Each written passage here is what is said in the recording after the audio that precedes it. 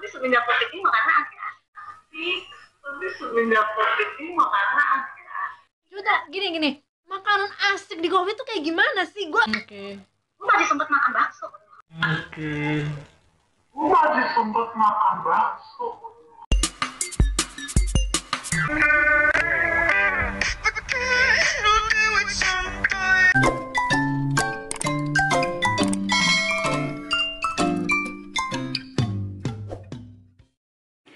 This is Natis come back. Welcome to new video. Jadi kali ini aku bakal interview sama teman aku. Nah ini salah satu beauty content creator juga, namanya Ayu. Dan ini adalah survivor COVID-19.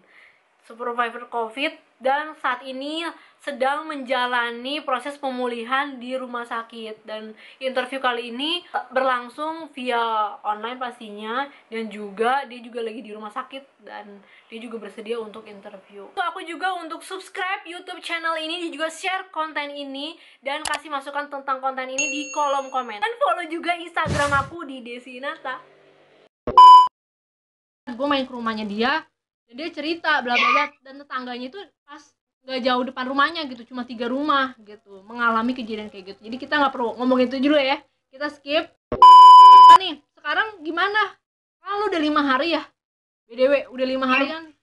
So far gimana gitu ngejalanin di situ? Terus bete enggak terus ceritain dong pengalaman di rumah sakit. Ini kayak paling penting sih pengalaman lu di rumah sakit. Terus waktu lu kena covid itu gimana? Langsung dibawa ke rumah sakit atau dari keluarga bawa ke rumah sakit atau dari lu sendiri ke rumah sakit gitu? Eh, kalau kok keadaan gue di sini malah seru banget Sumpah. dari apa ya? Kayak, kayak ini tuh kehidupan gue yang gak pernah gue jalanin loh. Kayak bangun bangun tidur makan. Terus makan tidur lagi bangun makan lagi tidur lagi. Dan makanannya enak-enak. Dan itu harapan semua orang. Pengennya makan tidur makan tidur. Ini, gue kayak perbaikan hidup perbaikan gizi perbaikan hidup perbaikan pola tidur. Yang benar jadi sebenarnya mau jadi berubah itu semenjak gue di sini. Tapi ya ya tetap nggak ada enaknya tetap ada nggak enaknya ya kan di sini gue kan fasilitas di sini juga eh, nggak nggak semuanya bagus. Kayak di di ruangan gue ini nggak ada TV ada TV dan gue ya kan kita tahu semuanya kalau uh, covid itu harus rajin apa jemur lah. Sini gue nggak uh, nggak ada tempat buat jemur. Udah di sini sini aja gue. Tapi untungnya di depan jendela gue itu ada di depan kamar gue itu ada jendela. Ya udah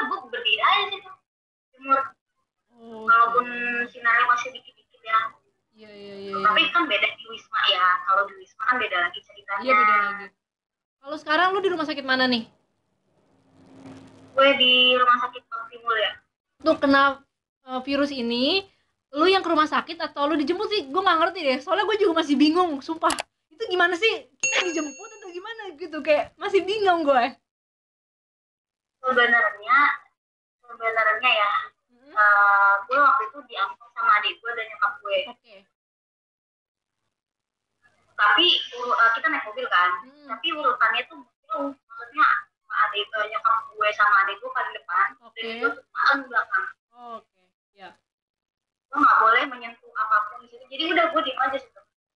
Hmm. Jadi nanti gue keluar keluar itu lewat belakang belakang buka pintu. Jadi nggak boleh. Gue nggak boleh nyentuh. Emang nggak boleh ngapa-ngapain. Gue buka pintu pun aja nggak bisa. Karena pikiran gue bahaya kan kayak gini ya kayak makhluk paling hina paling kotor taruhnya paling belakang dan itu kayak sampah gitu pengen langsung dibuang gitu ya. Langsung datang langsung ayo mbak sini. Biasanya kan kita dipapah dulu ya di rumah sakit. Iya betul. Kalau ala dipapah iya. Mbak masuk ke dalam.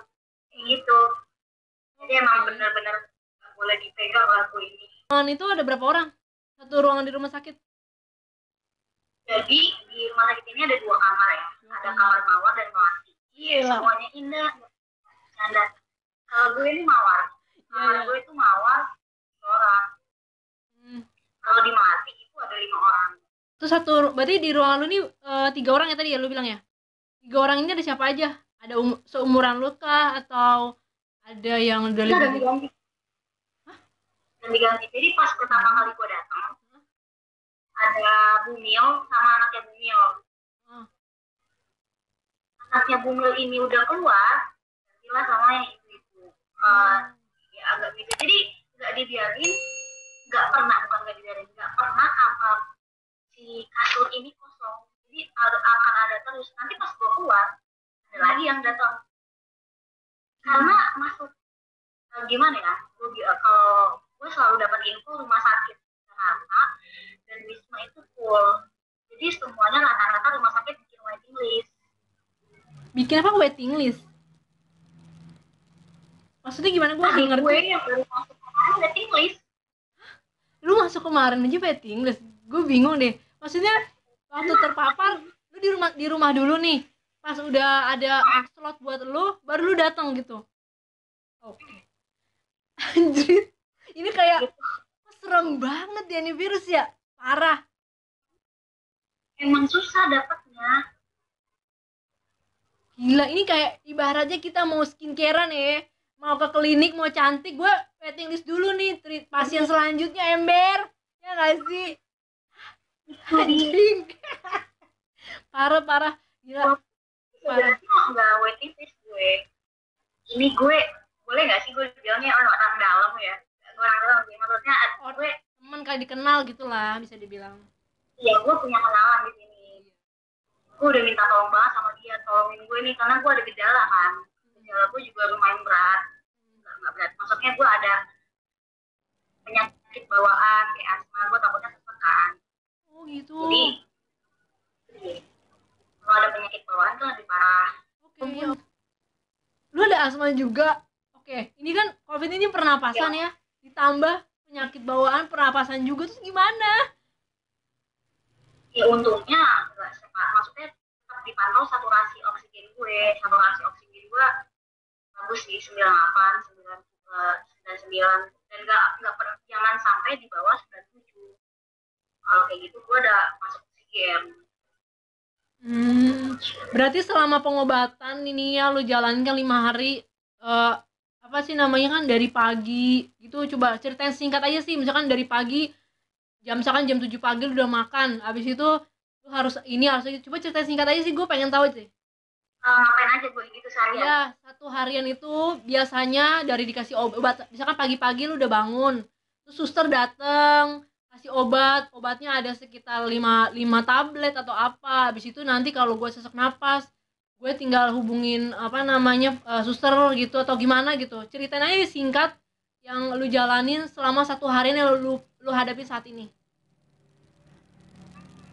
sebenarnya sama aja sih maksudnya kan gue gue tidur lah tidur di jam 10-an jam 11-an tidur besok bangun Eh, bangun dikasih makanan dikasih obat Ah. udah selesai makan obat perawat datang buat tensi Oke. saturasi ada keluhan lagi kan biasanya kalau ada tetap ada keluhan lagi ya tergantung kita dikasih obat lagi atau lewat injek uh, injek ini lewat infus. Oke.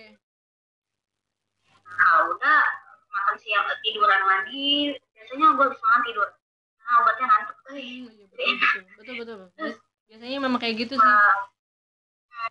supaya uh, apa istirahat terus dan habis itu makan siang makan siang obat tidur lagi cek lagi udah perlu gitu gitu aja paling Hmm. gue main ke tempat kan.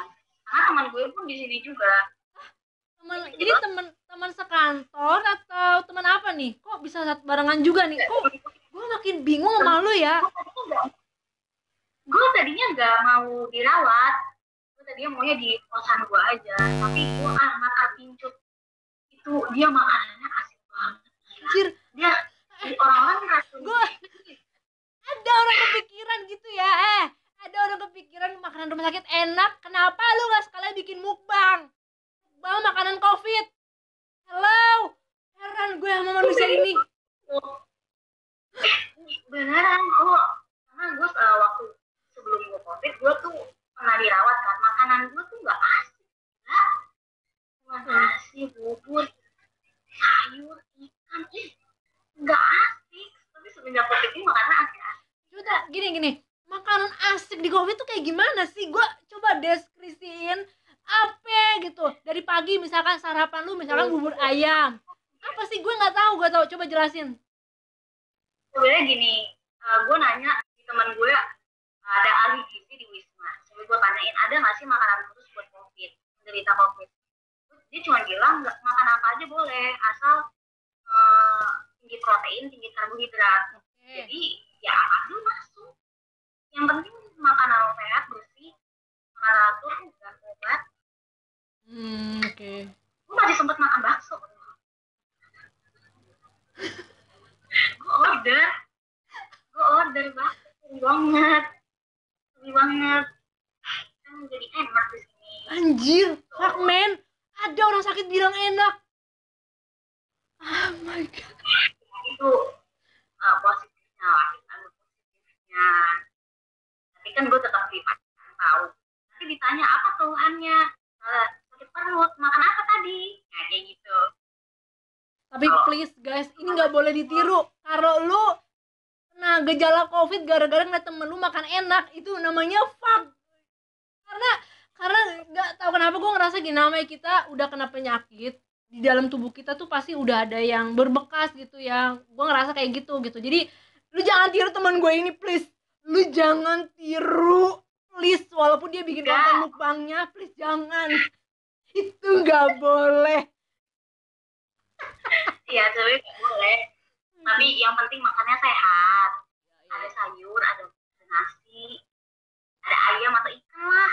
Ya kan Itu karena tadi lu bilang kan makanan yang berpro- berpro- berprotein tinggi sama karbohidrat ya. Sebenarnya itu pas sehat iman sempurna sih, apa aja boleh. Cuma kalau Makan kan. bakso, terus makan cilok kayaknya gua ragu itu kan micin ya, guys. Micin gitu. Bilang ke abangnya, bang gak usah pakai micin, dikit aja gitu. Oh my god. Aduh. Ada-ada aja lu ya, bener-bener deh, sumpah.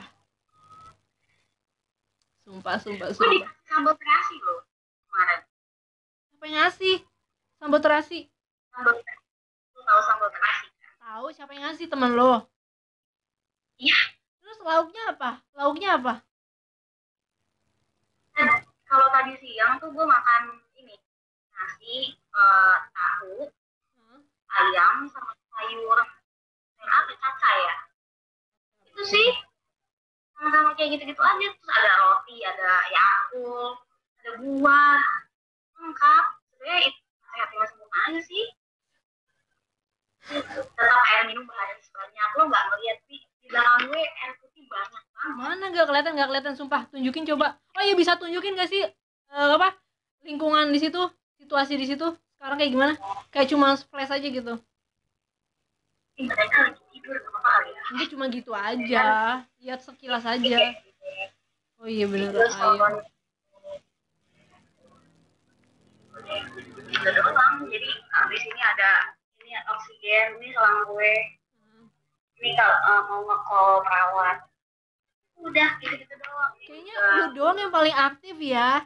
Gitu. Kayaknya lu eh, orang begini, orang kena covid tuh sedih gitu ya. Tapi lu tuh bahagia gitu. Lu kayaknya bahagia gitu ya. Iya, gue nggak mau sedih maksudnya kan tujuan kita ke sini kan supaya sehat Ya betul. ya semua sedih sedihnya semua sehat sehat otak sehat hati sehat tubuh semua harus sehat kan maksudnya lu bahagia lah di sini ya gue tidur dulu gimana gak bahagia Iya sih, betul juga. Hmm. Mikirin kerja lagi gue kan eh, enggak enggak gitu enggak gitu enggak gitu Oke, my, oh my god. Ini kayaknya ini toxic ya. Oke guys, ini toxic. Oke, gue mau notif ke kalian. Teman gue ini toxic banget. Udah kena virus. Dia bilang enak makanan di sana. Katanya enak bukan katanya si dia sendiri yang ngomong tadi. Dan dibilang gak kerja. Itu toxic. Oh my god. Jangan ditiru. asik banget sumpah ini asik banget Anjir, asik banget. Sumpah ada manusia begini. Ya Tuhan, ya Tuhan, ampuni. Udah kena virus, seneng. gitu Oh ya, gue, seneng pertanyaan gue nih. Em, ini lu di rumah sakit di cover BPJS atau sendiri BPJS bukan pantesan BPJS Kemenkes karena covid ini dibayarin sama Kemenkes ya in, iya, iya Kementerian Sosial betul. Betul jadi ah. Kemenkes iya betul. Hmm pantesan sih enak sih. Jadi ngerasa nggak dirugin ya kan? Lu tau sendiri kan kalau kita sakit di rumah sakit guys itu kelas 3 aja lu udah kelempongan gitu. Ini kan karena e, ibaratnya seluruh dunia ya covidnya apa sih penyakit yang seluruh dunia jadi ibaratnya tuh spesial di dispesialkan dari penyakit-penyakit lainnya. Jadi kalau kalian yang pengen hidupnya enak sesaat boleh terpapar covid rumah sakit aja. Langsung buka mulut gini. Ah mangap ya. Ah gitu. Tanpa menyakiti nggak sih? Tanpa menyakiti apa pun. Lo tetap nggak psikopat banget gue maaf teman gue ini makin gila deh. Kayaknya terpapar covid bilang enak. Satu yang kedua aduh toksik banget men. Gue gak ada kepikiran begitu hari ini ngomong. Gue kira gue dapet edukasi yang baik. Malah ini. Oh, iya, bercanda covid. Oke oke oke. Gila ini menarik banget sih sumpah. Ini kayak pengalaman yang kayak iya, orang iya. baru tahu gue orang bilang enak ini penyakit. Bangsat emang bener-bener. Gila.